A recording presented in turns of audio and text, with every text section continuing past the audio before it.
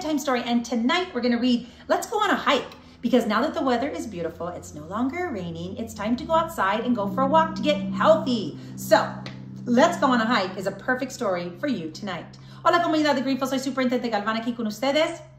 Y estos días cuando ya está soleado, ya no hay lluvia, esta historia dice que vamos a ir en una caminata, una hike, porque eso es ahora es tiempo porque está bonito afuera. So, si ustedes quieren ir con sus familias a dar una caminata alrededor del, del vecindario, será perfecto. So let's read about a hike.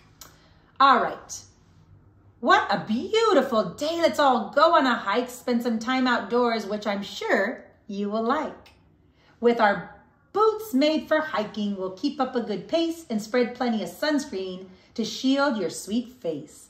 Oh, I almost forgot. Could you hand me my hat?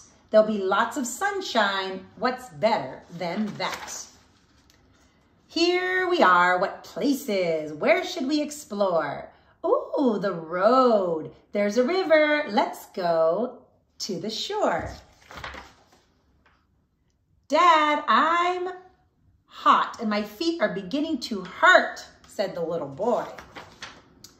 Well, I have something of use that will help you to see. Oh, those are binoculars. Thanks, Dad. These are handy. They will help me see past the dirt in the trees. Can you see? It's now, Archie, it's right over there. Look, a beautiful feather. It's bright blue, and that is rare.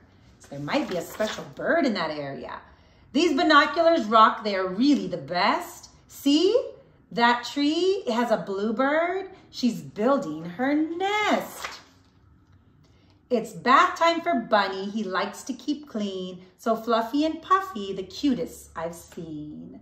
Let's get closer. Go slow, aw, as we scoured the poor thing. But he's learned that the tree's age is just by counting the rings. See those ants from a line as they march homeward bound, bringing food to their families deep in the ground. Some are carrying leaves. They are strong little guys. They can often lift things more than 10 times their size.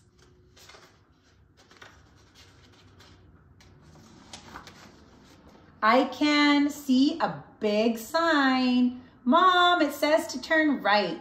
That way is to the river. It's almost in sight. We've made it and now we are having a blast. All that fun in the sun made the time go so fast. And on the river, the lily pads gleam in the sun. I can see a green frog that is sitting on one. Almost the end. Hey, I found some flat rocks. These are perfect for me. Watch them skip on the water. Let's go one, two, three. Well, it's time to head back. What a wonderful day. I see orange and pink as the sun fades away. There's no doubt we have many adventures ahead, but right now let's go home and get ready for bed.